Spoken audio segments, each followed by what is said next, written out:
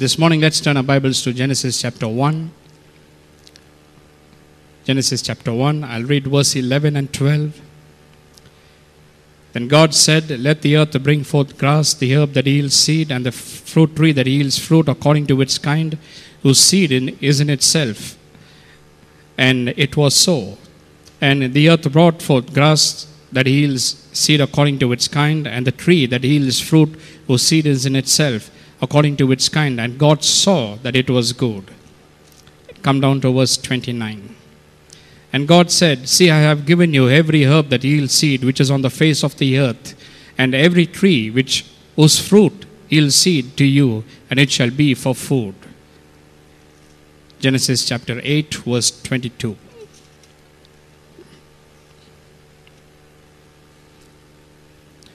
While the earth remains, seed time and harvest time, cold and heat, winter and summer, day and night shall not cease. Now we are talking about financial prosperity, financial and material prosperity, a very important aspect of a Christian life. And uh, this is the second part of that series. In the first part, I showed you how prosperity is God's will for you. It is God's plan for you and God's will for you. And in the second part of the series of teaching, I'm showing you how God prospers a person financially. I'm showing you how God takes a person who lives in lack and want and who lives in poverty and bondage to finances and how God blesses him financially and materially. I told you, you should not be ignorant concerning God's ways.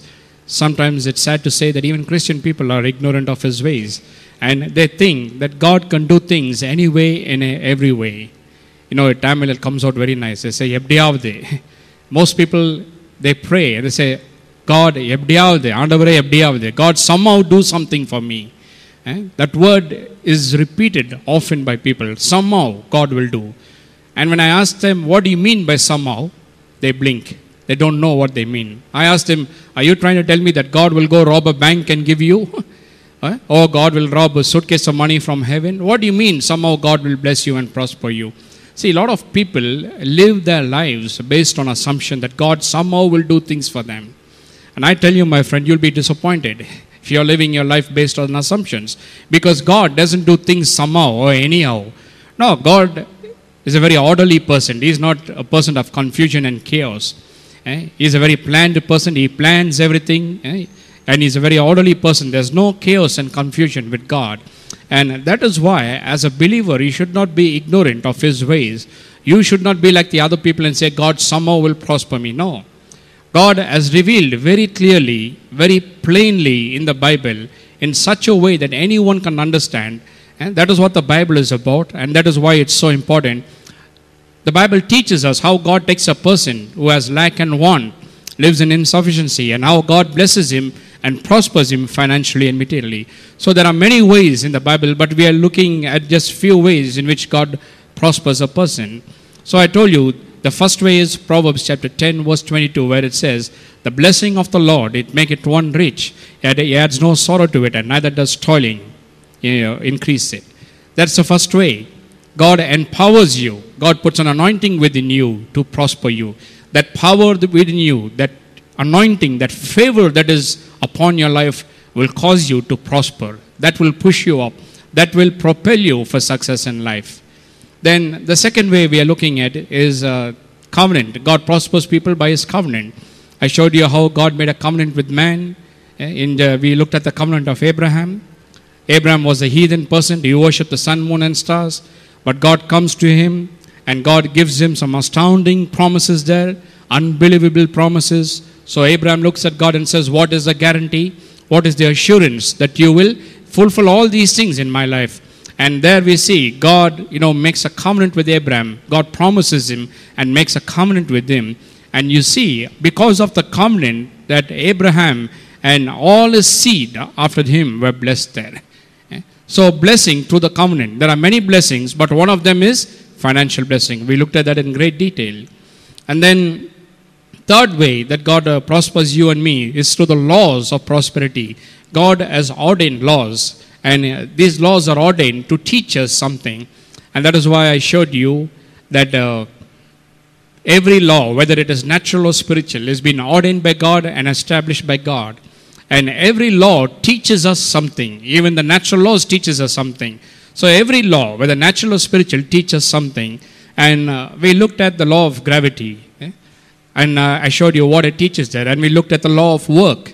Eh? Maybe we'll talk about that in great detail some other time or maybe after we finish this, that. But law of work. We looked at all those things there. These are all laws that have been established by God there. And these laws teach us something. Every law teaches us something. So the law of work teaches us how we don't work for a salary, but God has put potential within us. He has put abilities and talents and gifts within us. And when we work, all those talents and potential come out, and then that brings us prosperity. So we looked at those things. And uh, fourthly, I told you, law of association. That is, by the person you, you associate with. This is a law also. If you want to be a failure in life, you want to be a useless person or good for nothing, very simple. All you have to do is just hang around with people like that. Uh, Just find people like that who are failures, who are good for nothings, and just hang around all day with them, and you will become one automatically. But if you want to be a success, then you have to associate with people who are successful. These are all principles and laws that are, the Bible teaches how God prospers us. So we are looking at this law, the third law, the laws of prosperity. And uh, we are looking at how God prospers you, the law of seed time and harvest time, sowing and reaping. I'm showing you that this law that has been instituted by God is instituted for you and me. This is, law is not for God. Eh? It's amazing. God is so good. At the very beginning, in Genesis chapter 1, verses 11 and 12, at the dawn of creation, God established these laws here. Eh? Law of seed time and harvest time, law of sowing and reaping. And then he says, as long as earth remains, these laws will remain. They will function. They will not cease there. So that is what we are looking at the law of seed time and harvest time, sowing and reaping. And uh, I showed you who is a sower. eh? We looked at who is a sower. A sower is a person who has a lifestyle of sowing. Eh? That's what the Bible says in 2 Corinthians 9:10. It says there, God gives seed to the sower. Eh? He gives seed eh, to the sower, not to anybody and everybody. So I showed you why God gives seed to the sower. So who is a sower? A sower is a person who has a consistent life of sowing. He's not a person who sows once in a way or once in a bloom moon. No. His whole life is dominated and controlled. His whole life is lived by a planned way of sowing there. So he's consistent in sowing. He's not a person who sows once in a way there. So he's a sower. And why God gives seed to the sower? I told you because only then the full potential of the seed is released. That's why he puts it in the hands of the sower. If he gives it to the person who keeps it and hoards it eh, and cans it and sits on it, then the potential of the seed will never be released. This is what I'm going to you know show you. Every seed has tremendous ability and potential within it. It has a divine program in it there. And if it is not released and sown into the ground, then all that ability, the potential will go to waste. It will never fulfill its potential. So that is why Paul says in 2 Corinthians 9 10, he says, God gives seed to the sower, not to anybody and everybody, to the sower there. Why? Because only then that seed will fulfill its potential there. So we talked about all those things, and then I began to talk about giving. So we looked at, uh, turn with me to Ecclesiastes chapter 11. Or first we will look at, uh, sorry, Proverbs 11. Proverbs 11. We will look at first that one. Proverbs chapter 11. This is where we stopped last time. Proverbs chapter 11, verse 24 and 25. So we were talking about sowing and reaping, and I showed you how many people they wait for favorable conditions to sow. That means they wait until their income increases or they wait when they get extra money. eh? They wait for favorable conditions because they say what they have or what they get is not sufficient even to pay their bills. So, how they can sow into the kingdom of God. So, this is what they say. Well, when we get increase, eh, when my salary increases, or when I make a little more money, or when something extra comes in, then I will sow. That means this is what they're saying. They wait for favorable conditions to sow. And I showed you, the Bible teaches that as long as a person waits for favorable conditions to sow, that type of person will never sow. And his circumstances will never change there. Because the person who looks at the sun and the rain and the clouds will never go into the field and work there. He's just looking for some excuses to stay away. So, in the same way, when you look for favorable conditions, when you look for things to get better and get well, so that you can sow into the kingdom of God, it will never happen. The devil will never allow you to sow because he knows when you sow, you will prosper. So, that is why I showed you, you don't wait for favorable conditions, but rather you change your conditions favorable to you. How you do that? You do that by sowing in that very condition that you are in. Eh? That's what I showed you last week. That's why I said, you may have little. Eh? You may have little with you, and you may say, Well, this is all I have, and it's not sufficient. Well, that is exactly what this law is teaching about the law of seed time and harvest time. And this is why God has ordained this law. Why? So that even if you have little, God is teaching you how He will bless that little and multiply it and cause it to come back to you in abundance. So don't wait for favorable conditions. Don't wait for your situations and circumstances to change and say, then I will sow. No, my friend. You change your situations and circumstances by starting to sow. Because the moment you start to sow, there is a hope for a harvest. You can expect an harvest, and you can always hope and expect for your circumstances to change. So that is why you don't wait for favorable conditions. Then the next thing I showed you is how the world's philosophy. See, the world's philosophy is totally opposite against God's word. The world says one thing, in fact, it says exactly opposite of what God's word says. And that is why, as a believer, you should not live by the world philosophies. You should not live by the newspapers, the news that you read in the newspapers and televisions. You don't live by that. You don't live by the world's economy. No, no, you don't live by the world's standards or principles eh? because it is totally against God's word. So we live by God's word, not by the world's economy or the world's news or their standards. No, we live by God's word. So I showed you how the world's philosophy is totally against whatever God's word says. Totally against, totally opposite, I think. So the world says, well, don't give. If you give, you're a fool. They say only fools give. And they say, well, if you give, you become a pauper. Eh? You will have nothing. If you keep giving all your money, you will end up with nothing. You will not have for your children. They will be without anything. This is what the world says. So that is why we went to the scripture and I showed you what the scripture says. The world says one thing, but what God says and what His word says. And that is where we came to Proverbs chapter 11, verse 24. Proverbs 11, verse 24. I'll read verse 24 first. So in verse 24, it's talking about two types of people here 24 and 25. Eh? Two types of people. It says that there is one who scatters and yet increases more, and there is one who withholds more than what is right or just, but it leads to poverty. Now, this is amazing.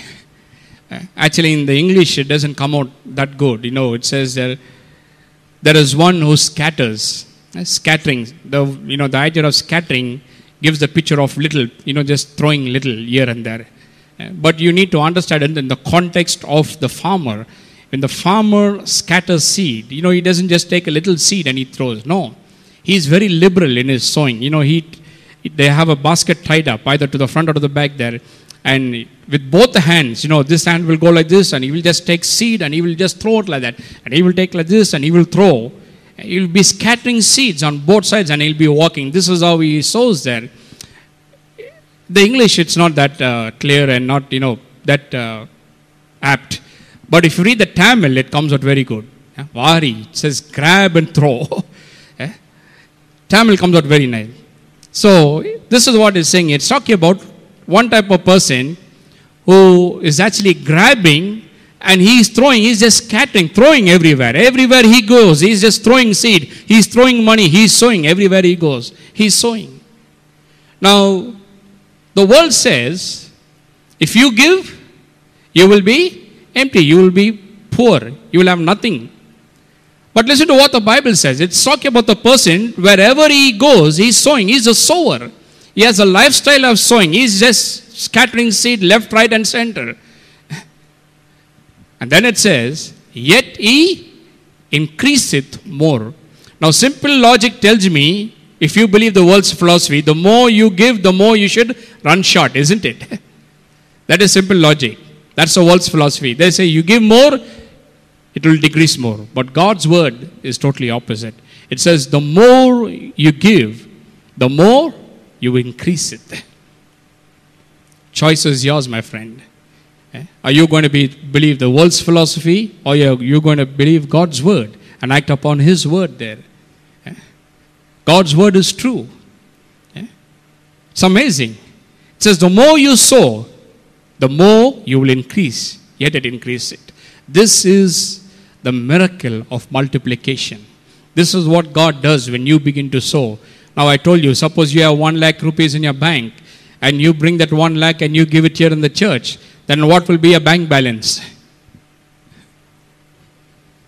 Zero, isn't it? but the Bible says you will still have one lakh there. That's what it literally means there. Not one lakh, even more than that. Increase it. How?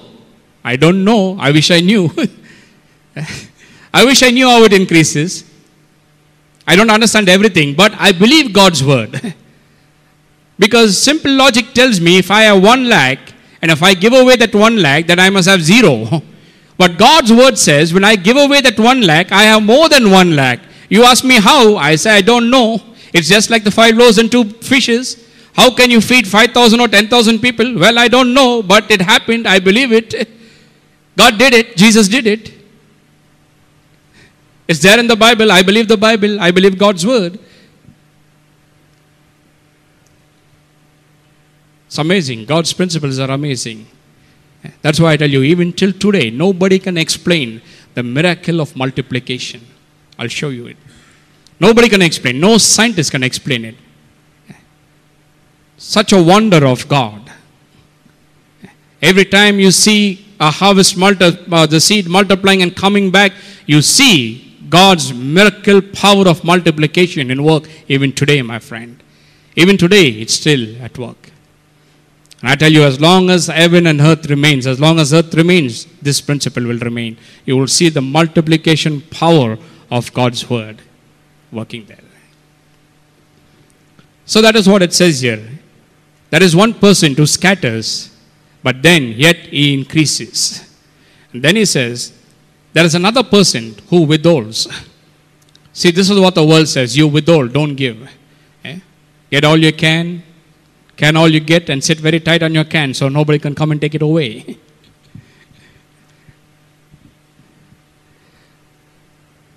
but here it says, God's word says, there is another person who withholds more than what is just and what is right. And what happens to him? It leads to poverty. Now, how this happens, this also I don't know. Here is a person who's withholding, getting all he can, scans all he gets, and sitting tight on a scan, but still he's becoming poor. He's supposed to be rich, become rich, but the Bible says he becomes poor.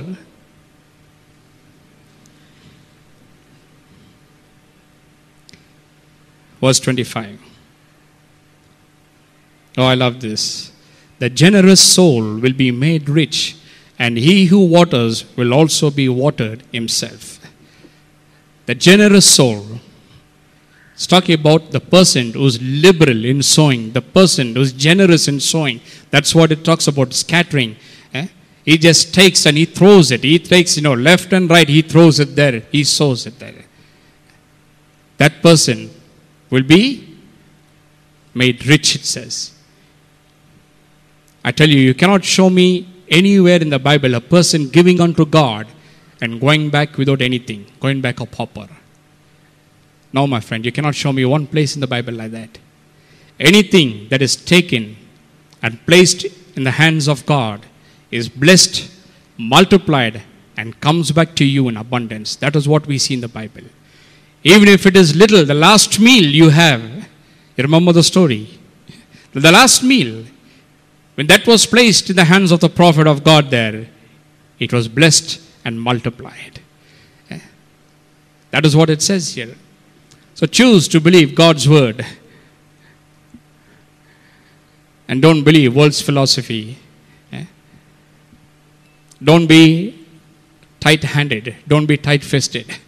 Be liberal, be generous in your giving. When it, when it comes to giving to God, be generous, be, li- be liberal, don't be tight handed.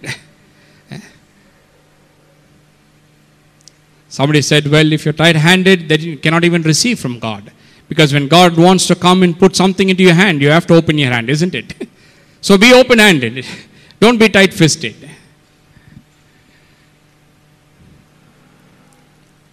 Turn with me to 2 Corinthians chapter 9, verse 6. 2 Corinthians 9. But this I say, he who sows sparingly will also reap sparingly, and he who sows bountifully will reap bountifully. Now, here, it's very clearly, it's saying here, he who sows sparingly.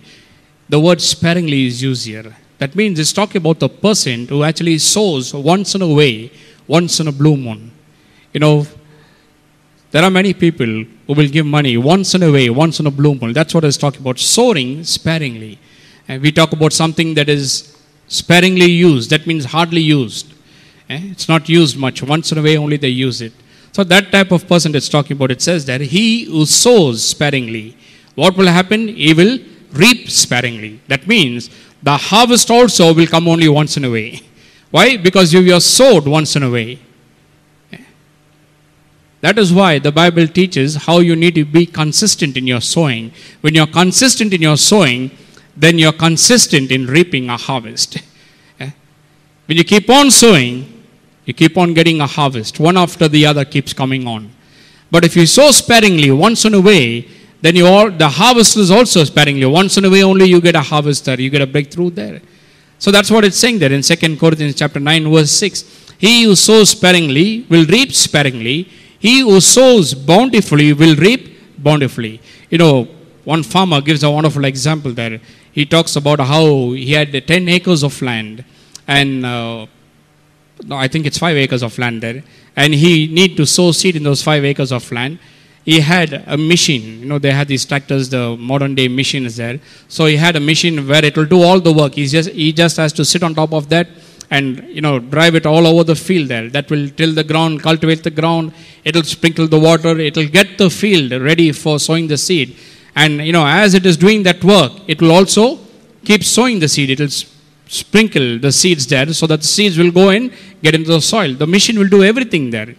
So he took this tractor and he went all over the field. There are five acres of land. He took this machine and you know drove it all around there and he finished the work of cultivating and sowing and all that. And then after some months, he was shocked because he found there was a gap, nearly of 100 or 200 meters gap between each crop that was coming up. Eh? That means in the five acres, first he saw crop coming, then he saw about 100, 200 feet gap there. Then again, he saw crop there coming out, then again 100, 200 feet gap there. So he, he couldn't understand why this happened because according to him, the machine should have dispensed seeds everywhere. And he should have got crop everywhere. Everywhere he should have got crop there. But he saw there was a gap all over the five acres, big gap, you know, 200 meters, 300 meters gap there. So he's wondering what happened. And then he went back to the machine and he checked it up and he saw that the machine was faulty. That means while he was doing the sowing, the machine did not dispense seeds continuously. Eh? Suddenly it will stop dispensing seed. And that is why you'll find the gap. So wherever it dispensed seed, there he got crop. Wherever it did not dispense seed, did not sow, there was nothing there. That is exactly what it's talking about here. He who sows sparingly. That means whenever or wherever you sow, then only you will get a harvest. If you sow once in a way, you will get a harvest once in a way. You don't get it continuous. But if you keep sowing continuous, sowing as a lifestyle, then the harvest keep coming every time. Eh? Every day is the day of harvest. Every day you keep, why? Because every day you kept sowing. So every day you get a harvest. Every day you keep reaping there. So that is what Second Corinthians 9 6 is talking about. Now, and uh, I'll read verse 5 and verse 6. Because when we talk about sowing, I know that sowing is the most difficult time. It's hard time, you know. It's not easy to sow, especially when uh, you have little money and that money is very precious to you. And I always say, you know, nowadays when people get their salary, the bills or the payments they have is more than what they earn. No matter how much they earn, if they earn even one lakh, they have payments for one lakh there. Yeah? So it's difficult to sow. This is what you know people find it very difficult to sow, whether they get little or whether they get plenty. Sowing time is a very difficult time. It's a very hard time. Yeah? And I understand that, and not only I understand that, God understands that more. He knows that the money that you get in hand is very little. Sometimes it's not even enough to pay your bills, to meet your needs there. So God knows that, He understands that. I always tell people see, before we are living in a, a period where tremendous changes is taking place. You know, before every year, only from budget to budget, only prices will increase. in between, it will never increase. Eh?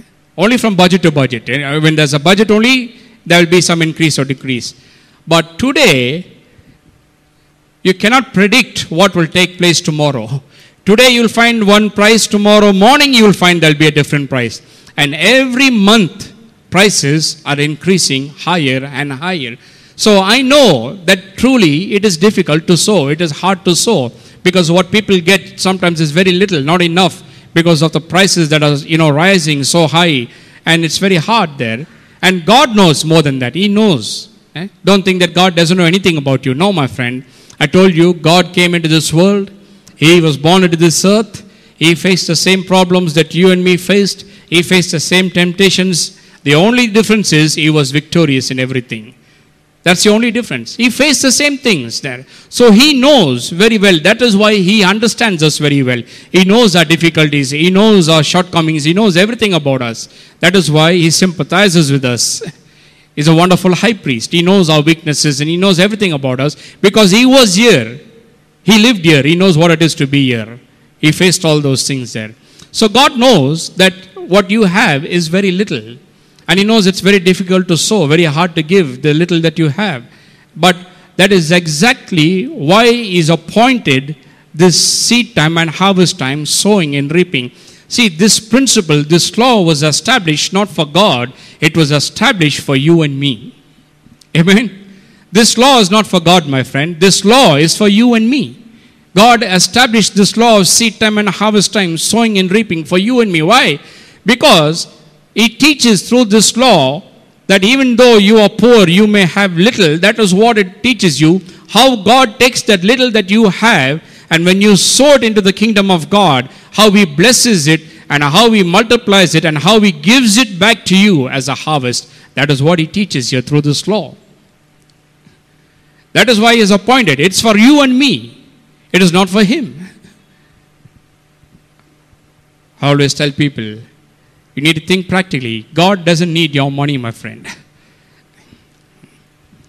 God doesn't need your money. God is not dependent on your money to do His work. No, my friend. God can raise up anybody. So God is not dependent. If God is not dependent on our money, then why did He ordain this law? Well, this is the purpose. Because sometimes even preachers don't understand it.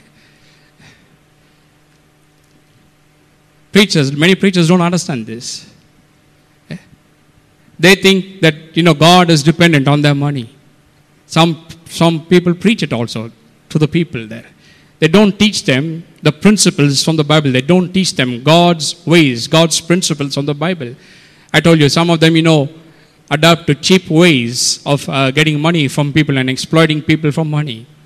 And anytime when you give and you don't give based upon God's word and God's principles, it will never be a blessing to you. I know many people who have given not based upon God's word and God's principles. They have many reasons for giving. And sometimes they don't reap because the motive for giving is totally wrong. You know, one person was telling me how, because he listened to sowing and reaping and seed time and harvest time, and he says, Well, I don't believe the principle, you know, I don't believe. So I asked him, Why do you don't believe it? He says, No, you know, I've listened to some of the preachers and I've been sowing, but I didn't get anything.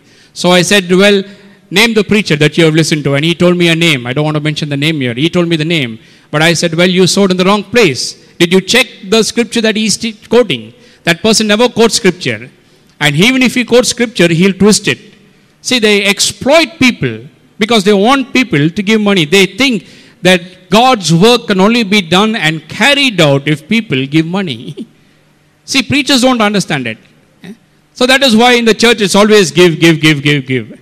Eh? They even scold people for not giving. Eh? They will not teach people how to give biblically.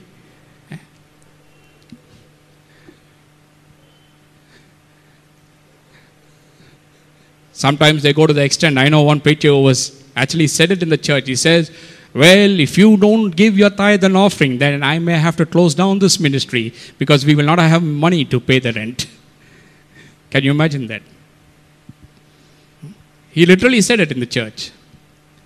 If you don't give money, if you don't give your tithe and offering, I'll have to close down. He said, Well, I tell you, my friend, even if nobody gives here, I will not close down. Amen because I know that people cannot meet the needs of the ministry. Only God can meet the needs of the ministry. And this is what preachers fail to understand. But thank God I understand that. I understand that no man can meet the needs of the ministry. I can challenge anyone. If there is anyone here who can say, Well, I can meet the needs of the ministry, please meet me after the service. And I will tell you my needs. And you know what will happen? You'll start coming to church here after that. And if you see me anywhere in outside, you will turn your back and you'll run away. You will say, This is a dangerous person to deal with. You'll say, You're asking so much. Yes, I know how to ask big. I have a big mind because I worship a big God. So when I ask, I ask big only. Amen? See, God is not dependent on your money. Why tithes? Why offerings? You know, why all these things? Does God want your money? Is He dependent on your money? Unless you give, can the church go? Unless you give, can the gospel go? No, my friend. God is not dependent. These things were not ordained for God. It was ordained and established to prosper you and me, to change our situation. It is to bless you and me. This is how God takes the from the little that you have and He blesses and He gives it to you back in abundance. That is what harvest is about. What is harvest? Harvest is whatever you have sown, you get back much more. It multiplies and comes back to you much more. That is harvest. So that is why seed time and harvest time, sowing and reaping, it has been ordained and established for you and me. God is so good. You know, God is such a wonderful person that in the very beginning, in the very dawn of creation, God established this principle. Why? So that there can always be abundance on this planet Earth. Always abundance. That is how this principle and is been ordained and established. So that there will always be full and much more than what people need. Because the same God also told man to populate the earth and fill the earth. He's the same God who said, populate the earth and fill the earth. That is why he ordained this principle. Why? So, no matter how many billions and trillions of people fill this earth, there's always much more. Amen. How? By this principle. That's why this principle was established at the very dawn of creation. So, sowing is for us, it's not for God. Sowing and reaping is for us.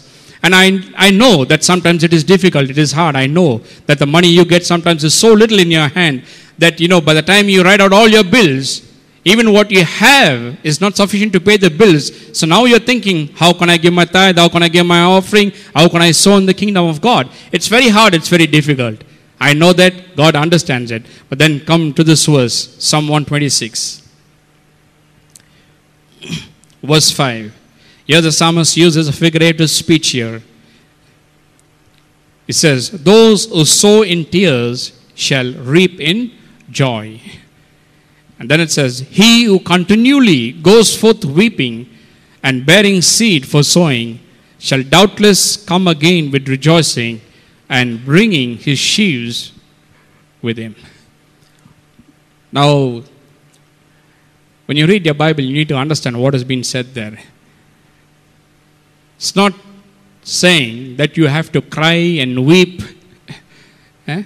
and give it, and then you know you will reap in joy. It's not talking about that. Eh? Because sometimes some people will take things literally. eh? They will cry and shed tears and give. Then only you will reap in joy. It's not talking about that. It's just using agricultural language. It's using the picture of a farmer here. And that's what it is. The Bible is a very figure here is using a figurative speech here. He's taking the picture of agriculture. He's talking about a farmer here, and he's talking about how when a farmer goes to sow, he uses the word here, sow in tears. Actually, it is sowing is hard work. It is difficult work. That is what it symbolizes here. Eh? It's not easy work. It is hard work. It is difficult work. It is laborious work. Nowadays, you have tractors. And even tractors, also, people who are rich and have money only can buy them. Not anybody and everybody can use it. But those days, you know, few years back when there was no tractors, sowing time was very difficult because it had to be done manually. I understand these things because I worked in the villages. Eh? I worked in the villages and I have seen how they do these things. So sowing time is the most hardest time in their life. It is the most difficult time because the job has to be done manually. That means you'll find a line of people on the field there. Let's say if they have five acres of land. Just imagine you go there and look at five acres is a vast portion of land there. So there will be people standing in a line there and they have to get into that field and they have to get the legs dirty there and they have to, you know, cover that entire five acres there. They have to do it manually. It's hard work, laborious work. That's what it's talking about. It's not talking about crying and sowing. So that's what he's saying there in verse 5. Those who sow in tears shall reap in joy. And it says that in verse 6 He who continually goes forth weeping, bearing seed for sowing. That means every time you take seed and you go to sow, it's difficult, it's hard, it's laborious. And not only that, when you sow, there's no immediate rewards, no immediate blessing. Many months later only you get a harvest. For every seed, there's a harvest appointed. Immediately you don't get any reward. Immediately you don't get any blessing. Immediately you don't get a harvest. You don't go out there in the field, sow the seed today, and tomorrow morning go reap the harvest. No, my friend. So that is why sowing is referred to as hard work, laborious work, difficult work there. Eh? It's not easy, it's very difficult because no rewards, no immediate rewards also. You just go and work, you don't get any immediate rewards. You have to wait for the harvest to come. So that is what it's saying there. Sowing time is a very difficult time. It's a very hard time. But then it says, harvest time. Oh, I tell you, you need to see the farmers during the harvest time. You need to see that a whole town is celebrating. There's singing, there's dancing, there's rejoicing. Everybody on the streets they're buying and shopping and buying clothes and buying this and buy that. Why? Because it is harvest time. Harvest time is rewarding. Amen. You have sowed. When you sowed, didn't get any reward, no blessing, nothing. You just had to work hard. No immediate benefits, no immediate blessing. You just sowed. You, you had to work hard there, laborious work. But then it says, when it comes to the harvest time, oh, it's rejoicing. They rejoice. Why? Because now they're getting rewards. They're being blessed for all their work, for all their toil and labor. They see the answer there. That is what it's talking about here. And that is why you need to understand this that this is the whole reason why God ordained seed time and harvest time, sowing and reaping. Because you need to understand that when you take that seed and when you sow it on the ground, you are not a loser. No, my friend. God takes it, blesses it, multiplies, and brings it back to you as a harvest. Why harvest? Harvest is much more than what you need. Harvest is abundance of whatever you have given, whatever you have sown, so that you will have much more in life. That's the whole purpose of it. So, how do you change your situation and your circumstance? You don't wait for favorable conditions. You don't wait for things to get better, my friend. You start wherever or whichever condition you are. This is how you change your way of living. You change and turn around your situations and circumstances. Well, even if you have little, don't fear. Don't believe the lies of the devil. And don't think that you'll be a loser. No, I'll show you. You'll, you're never, you'll never lose. You're not a loser when you give. Eh? I'll show you that in a moment. But this is how God blesses and prospers you. When you take that little and when you sow it, then God blesses it, multiplies it, and causes it to come back to you in abundance. Why? So that you'll have much more. So that you can eat, you can save, and you also can give liberally. That's the whole purpose of giving. Well, turn with me back to 2 Corinthians chapter 9, verse 10. Let's come back there. I'm not through with that still.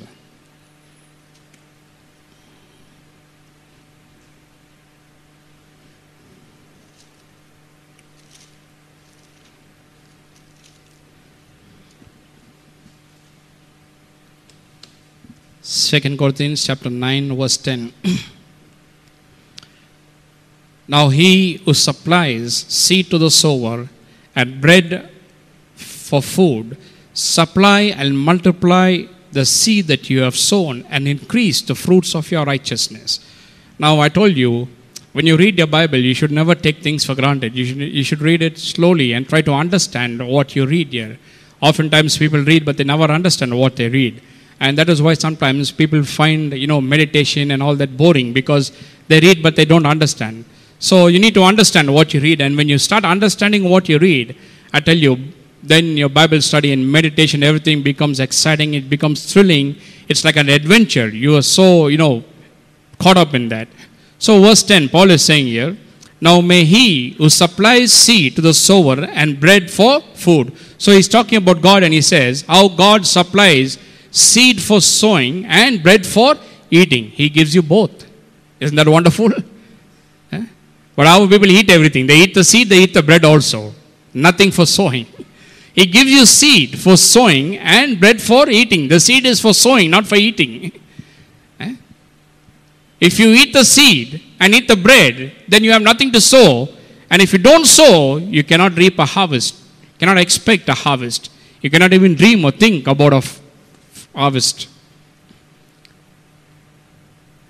So that is what he's saying here. But just lo- listen to the second part of that verse there, where it says there, after talking about how we give seed to the sower and bread for eating, and then he says, supply and multiply the seed that you have sown and increase the fruits of your righteousness. Now, I want you to look at this verse carefully.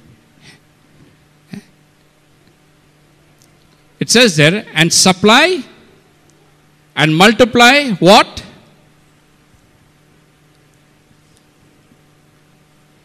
Say it boldly. Don't worry. All very weak, I think. supply and multiply what? Seed. Which seed? Next word. I think it's not in your Bible. Only in my Bible it's there. Next word of seed. Seed? Seed? Which is sown. Every word is important, my friend. God multiplies which seed? The seed that is sown. Not the seed that is in your hand. Not the seed that is in your storehouse. See, a farmer can, you know, have a storehouse and he can have bags and bags and bags of seed stored there. But I tell you, that will never multiply. That will never multiply, my friend. In fact, if he keeps that too long, that will perish. All that will be destroyed, it will get spoiled there. See, that is why you need to understand the Bible correctly. Some people are wondering why my money in the bank is not multiplying. Well, God doesn't say He will multiply that. Here it's very clear. He says, well, the seed that is sown will multiply. That is why I tell people see, when you give, you are not a loser, my friend. That's the world's philosophy. And don't believe the world's philosophy because I told you, the man that is without God, he doesn't understand God. He doesn't understand the ways of God. His heart is darkened. His mind is darkened. He's alienated. He's cut off from God. He doesn't know how the kingdom of God operates and functions. he's is zero to the things of God. Then how can you follow his ways and believe what he says?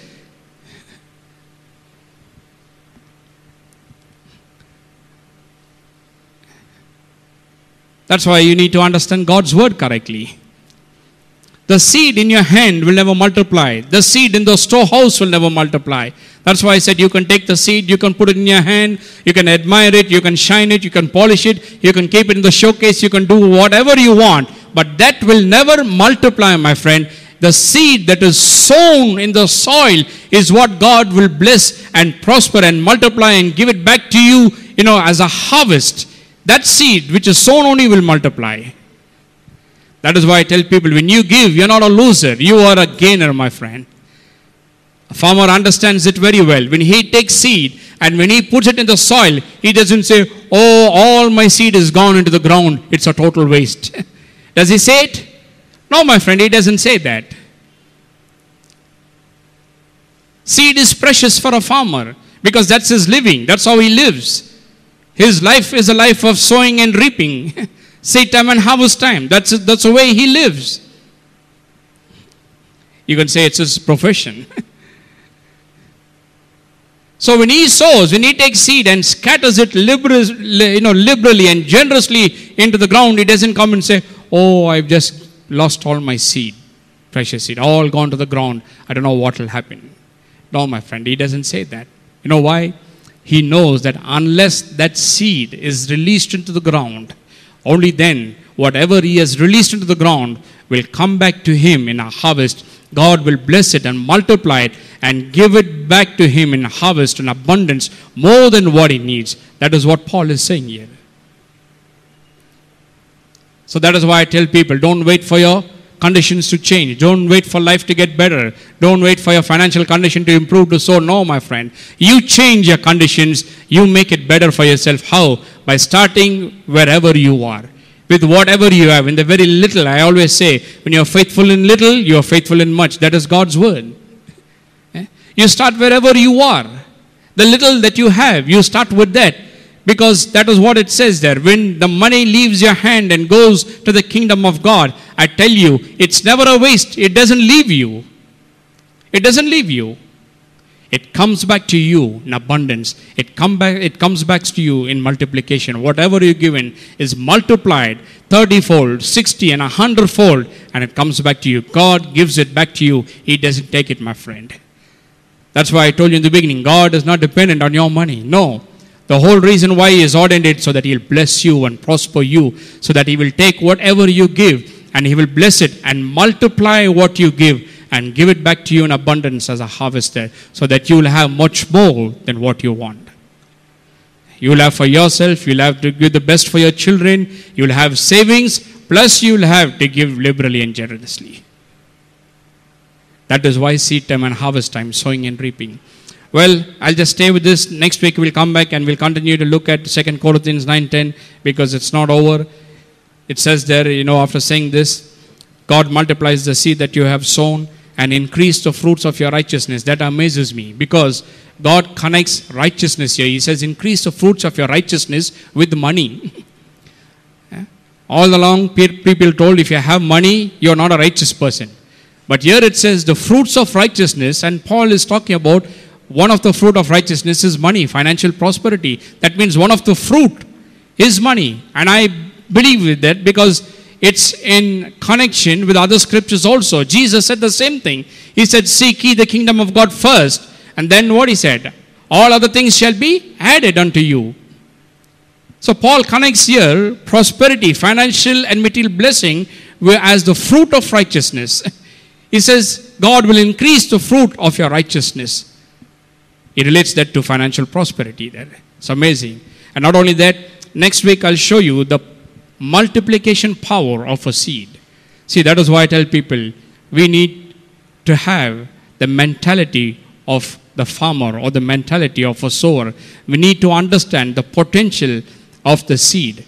Every single seed has been programmed by God. It's amazing. Every single seed has been programmed by God. And if you take an apple seed, you know, it's very small, very tiny. You take it and you put it in your hand, it may look as nothing to you. But I tell you, my friend, within that apple seed, there is life. Within that apple seed, there is a program. God has programmed every seed there to fulfill a destiny. Every seed has within it a law a life, a law that will fulfill its destiny there. This is what I'm going to talk about next week. But shall we all stand?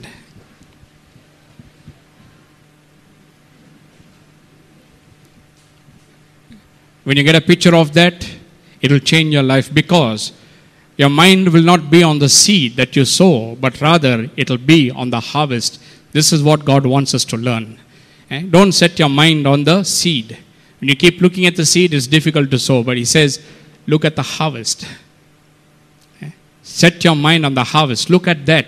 Look beyond sowing. Yes, now it may be difficult. Now it may be hard to sow. But look beyond that.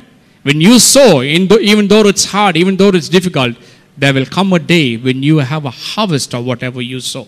So set your mind on the harvest. Every time you give, you need to have that in picture.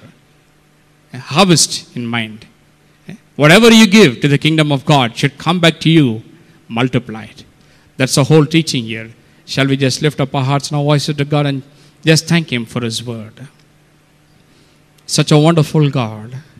He has made things so easy, so simple, so plain that anyone can just understand it and follow it. That's why I tell people there is no excuse to live in poverty, lack, and want. No, even the poorest of poorer can be blessed. You can change your life by following God's principles. His laws will work. As long as earth remains, these principles will work. It will never fail. So believe in God, believe in His word, believe in His principles.